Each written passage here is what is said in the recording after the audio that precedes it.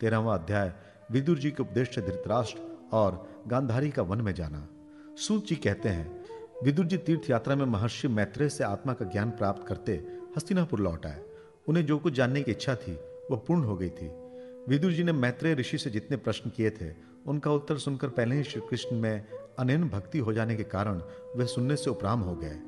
शौनक जी, अपने चाचा विदुर जी को आया देख धर्मराज युधिष्ठिर, उनके चारों भाई धृतराष्ट्र युत्सु संजय, कृपाचार्य, कुंती, गांधारी, द्रौपदी, सुभद्रा, उत्तरा, कृपी तथा पांडव परिवार के अन्य सभी नर नारी और अपने पुत्रों सहित दूसरी स्त्रियाँ सब के सब बड़ी प्रसन्नता से मानो मृत शरीर में प्राण आ गया हो, ऐसा अनुभव करते हुए उनकी अगवानी के लिए सामने गए।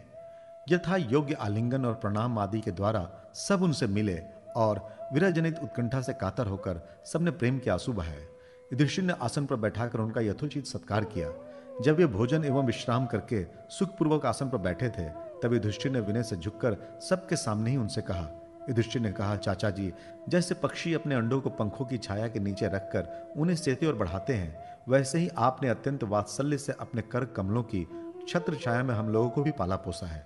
बार बार आपने हमें और हमारी माता को विष दान और लाक्षा ग्रह के दाह आदि विपत्तियों से बचाया है। क्या आप कभी हम लोगों को भी याद करते रहे आपने पृथ्वी पर विचरण करते समय किस वृत्ति से जीवन निर्वाह किया? आपने पृथ्वी तल पर किन किन तीर्थों और मुख्य क्षेत्रों का सेवन किया? प्रभु, आप जैसे भगवान के प्यारे भक्त स्वयं तीर्थ स्वरूप होते हैं। आप लोग अपने हृदय में विराजमान भगवान के द्वारा तीर्थों को भी महातीर्थ बनाते हुए विचरण करते हैं। चाचा जी, आप तीर्थ यात्रा करते हुए द्वारका भी अवश्य गए होंगे। वहाँ हमारे सहृद एवं भाई बंधु यादव लोग, जिनके एकमात्र आराध्य देव श्री कृष्ण है, अपनी नगरी में सुख से तो है ना? आपने यदि जाकर देखा नहीं होगा तो सुना तो अवश्य होगा। युधिष्ठिर के इस प्रकार पूछने पर विदुर जी ने, तीर्थों और यदुवंशियों के संबंध में जो कुछ देखा, सुना और अनुभव किया था, सब क्रम से बतला दिया। केवल यदुवंश के विनाश की बात नहीं कही। करुण हृदय विदुर जी पांडवों को दुखी नहीं देख सकते थे, इसलिए उन्होंने यह अप्रिय एवं असह्य घटना पांडवों को नहीं सुनाई, क्योंकि वो तो स्वयं ही प्रकट होने वाली थी। पांडव विदुर जी की देवता का समान सेवा सत्कार करते थे। वे कुछ दिनों तक अपने बड़े भाई धृतराष्ट्र की कल्याण कामना से सब लोगों को प्रसन्न करते हुए सुखपूर्वक हस्तिनापुर में ही रहे। विदुर जी तो साक्षात धर्मराज थे। मांडव्य ऋषि के शाप से ये सौ वर्ष के लिए शुद्र बन गए थे। इतने दिनों तक यमराज के पद पर अर्यमा थे और वही पापियों को उचित दंड देते थे। राज प्राप्त हो जाने पर अपने लोकपालों सरीखे भाइयों के साथ राजा युधिष्ठिर वंशधर परीक्षित को देखकर अपनी अतुल संपत्ति से आनंदित रहने लगे। इस प्रकार पांडव गृहस्थ के काम धंधों में रम गए और उन्हीं के पीछे एक प्रकार से यह बात भूल गए कि अनजाने में ही हमारा जीवन मृत्यु की ओर जा रहा है। अब देखते देखते उनके सामने वो समय भी आ पहुँचा, जिसे कोई टाल नहीं सकता। परंतु विदुर जी ने काल की गति जानकर अपने बड़े भाई धृतराष्ट्र से कहा, महाराज, देखिए, अब बड़ा भयंकर समय आ गया है। झटपट यहाँ से निकल चलिए। हम सब लोगों के सिर पर वह सर्वसमर्थ काल मंडराने लगा है, जिसके टालने का कहीं भी कोई उपाय नहीं है। काल के वशीभूत होकर जीव का अपने प्रियतम प्राणों से भी बात की बात में वियोग हो जाता है। फिर धन, जन आदि दूसरी वस्तुओं की तो बात ही क्या है? आपके चाचा, ताऊ, भाई, सगे संबंधी और पुत्र सभी मारे गए। आपकी उम्र भी ढल चुकी है। शरीर बुढ़ापे का शिकार हो गया है। आप पराए घर में पड़े हुए हैं। ओह, इस प्राणी को जीवित रहने की कितनी प्रबल इच्छा होती है। इसी के कारण तो आप भीम का दिया हुआ टुकड़ा खाकर कुत्ते का सा जीवन बिता रहे हैं, जिनको आपने आग में जलाने की चेष्टा की। विष देकर मार डालना चाहा। भरी सभा में जिनकी विवाहित पत्नी को अपमानित किया, जिनकी भूमि और धन छीन लिए, उन्हीं के अंश से पले हुए प्राणों को रखने में क्या गौरव है? आपके अज्ञान की हद हो गई कि अब भी आप जीना चाहते हैं। परंतु आपके चाहने से क्या होगा? पुराने वस्त्र की तरह बुढ़ापे से गला हुआ आपका शरीर आपके ना चाहने पर भी क्षीण हुआ जा रहा है। अब इस शरीर से आपका कोई स्वाद सदने वाला नहीं है। इसमें फंसिए मत। इसकी ममता का बंधन काट डालिए। जो संसार के संबंधियों से अलग रहकर उनके अनजान में अपने शरीर का त्याग करता है, वही धीर कहा गया है। चाहे अपनी समझ से हो या दूसरे के समझाने से, जो इस संसार को दुस्वरूप समझकर इससे विरक्त हो जाता है और अपने अंतकरण को वश में करके हृदय में भगवान को धारण कर सन्यास के लिए घर से निकल पड़ता है, वही उत्तम मनुष्य है। इसके आगे जो समय आने वाला है वह पराया मनुष्यों के गुणों को घटाने वाला होगा। इसलिए आप अपने कुटुंबियों से छिपकर उत्तराखंड में चले जाइए। जब छोटे भाई विदुर ने अंधे राजा धृतराष्ट्र को इस प्रकार समझाया, तब उनके प्रज्ञा के नेत्र खुल गए। वे भाई बंधुओं के सदृढ़, स्नेह पाशों को काटकर अपने छोटे भाई विदुर के दिखलाए हुए मार्ग से निकल पड़े। जब परम पतिव्रता सुबल नंदिनी, गांधारी ने देखा कि मेरे पति देव तो उस हिमालय की यात्रा कर रहे हैं, जो सन्यासियों को वैसा ही सुख देता है, जैसा वीर पुरुषों को लड़ाई के मैदान में अपने शत्रु के द्वारा किए हुए न्यायोचित प्रहार से होता है, तब वे भी उनके पीछे पीछे चल पड़ी। अजात शत्रु युधिष्ठिर ने प्रातःकाल संध्या वंदन तथा अग्निहोत्र करके ब्राह्मणों को नमस्कार किया और उन्हें तिल, गौ, भूमि एवं स्वर्ण दान दिया। इसके बाद जब वे गुरुजनों के चरण वंदना के लिए राजमहल में गए, तब उन्हें धृतराष्ट्र, विदुर तथा गांधारी के दर्शन नहीं हुए। युधिष्ठिर ने उद्विग्न चित्र होकर वहीं बैठे हुए संजय से पूछा, संजय, मेरे वे वृद्ध और नेत्रहीन पिता धृतराष्ट्र कहाँ हैं?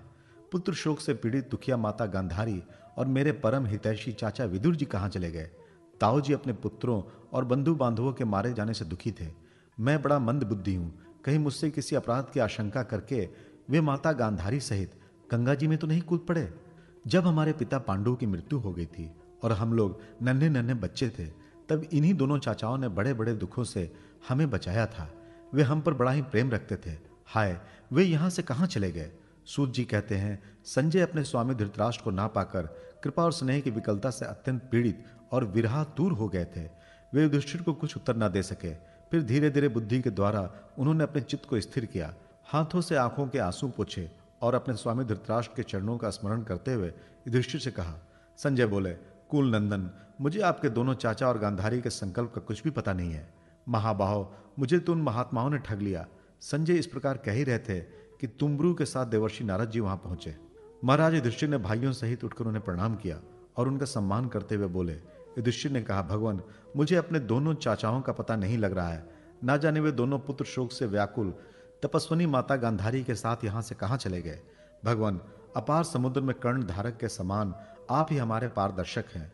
तब भगवान के परम भक्त भगवान में देवर्षि नारद ने कहा, धर्मराज, तुम किसी के लिए शोक मत करा करो, क्योंकि यह सारा जगत ईश्वर के वश में है।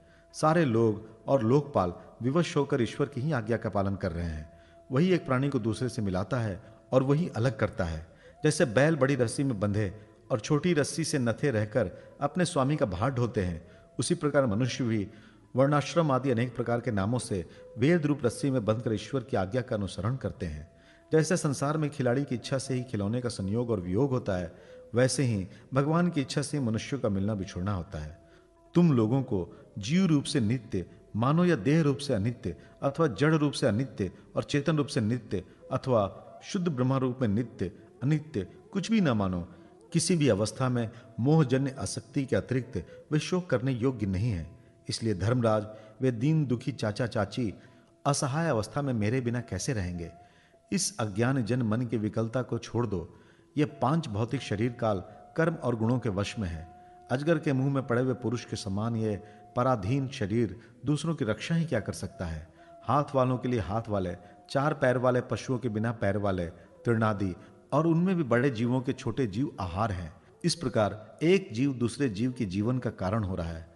इन समस्त रूपों में जीव के बाहर और भीतर वही एक स्वयं प्रकाश भगवान जो संपूर्ण आत्माओं की आत्मा है, माया के द्वारा अनेकों प्रकार से प्रकट हो रहे हैं।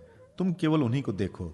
महाराज, समस्त प्राणियों को जीवन दान देने वाले वे ही भगवान इस समय इस पृथ्वी तल पर देवद्रोहियों का नाश करने के लिए काल रूप से अवतीर्ण हुए हैं।